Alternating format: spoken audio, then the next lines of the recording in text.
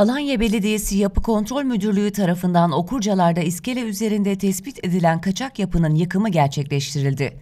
Alanya Belediyesi kaçak yapılaşmayla mücadelesini aralıksız devam ediyor. Bu kapsamda çalışmalarını sürdüren Alanya Belediyesi Yapı Kontrol Müdürlüğü, Okurcalar Mahallesi'nde bir otelin plajındaki iskele üzerinde kaçak yapı tespit etti.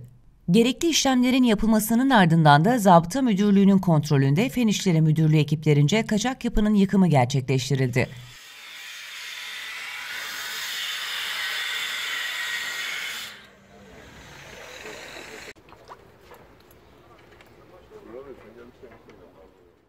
Alanya Belediye Başkanı Adem Murat Yücel, kaçak yapılaşmaya izin vermeyeceklerini vurgulayarak, kaçak yapılaşmada kanunun ve belirlenen sınırların dışına çıkan herkesle mücadelemiz sonuna kadar devam edecek.